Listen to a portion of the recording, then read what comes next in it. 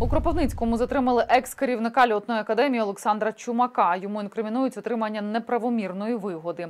Звільнений з посади ректор буцімто вимагав 20 тисяч доларів з одного із приватних підприємців за співпрацю з академією.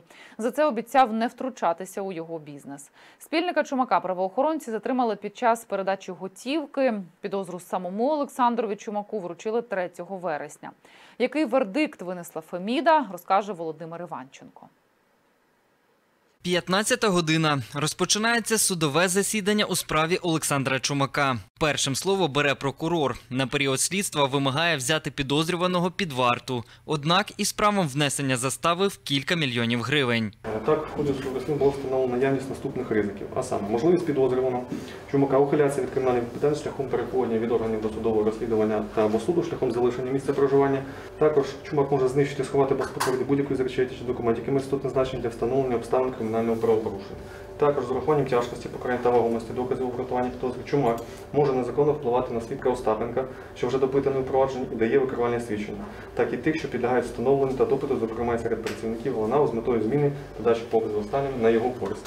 Водночас адвокати Олександра Чумака такий запобіжний захід для свого клієнта вважають аж занадто жорстким. Запевнили, підозрюваний не має наміру переховуватися від слідства і тим паче знищувати докази. будь-яких об'єктивних даних на те, що такі е, ну, спроби чи е, щось таке було, ну, щоб стверджувати, що може знищити. Прокурору не треба. Невідомо. Якщо це документи льотної академії, то наказом ректора номер 772 К від 3.9.2021 року Чумак відсторонений від виконання обов'язків начальника льотної академії і на час, на час проведення службового розслідування. Захист наполягав випустити Олександра Чумака під заставу чи під домашній арешт. Апелювали адвокати, зокрема, і тим, що в екс-ректора після затримання загострилися хронічні хвороби. Сам Олександр Чумак справу проти себе вважає сфабрикованою, а докази слідства необґрунтованими. Всі обвинувачення є надуманими, спровокованими і викладеними на підставі припущень. Ніяку неправомірну вигоду, ніякі кошти я не отримував і в будь-якому випадку не надавав доручень своїм підлеглим на отримання цих коштів. Заслухавши обидві сторони, суд пішов до нарадчої кімнати. Після години розмірковувань, зрештою, суддя винесла вердикт.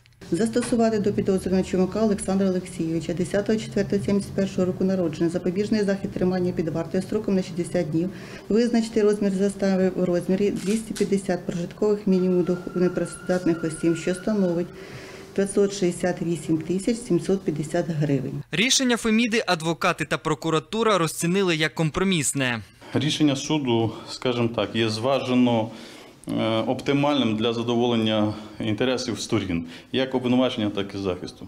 Е, Вважаю, що даний запобіжний захід е, є обґрунтованим е, та необхідним в даному випадку. Будемо вивчати повний текст рішення, коли вже буде, і тоді будемо вирішувати питання з даного приводу щодо можливого апеляційного скарження. Зазначу, одразу після судового засідання підозрюваного доправили до СІЗО. Втім, уже наступного дня родичі внесли за нього заставу в повному розмірі. Наразі екс-ректор на свободі. Якщо слідство його провину все ж доведе, Олександрові Чумаку загрожує від 5 до 10 років позбавлення волі з конфіскацією майна. Володимир Іванченко, Олександр Гаєвський. Новини Правда тут.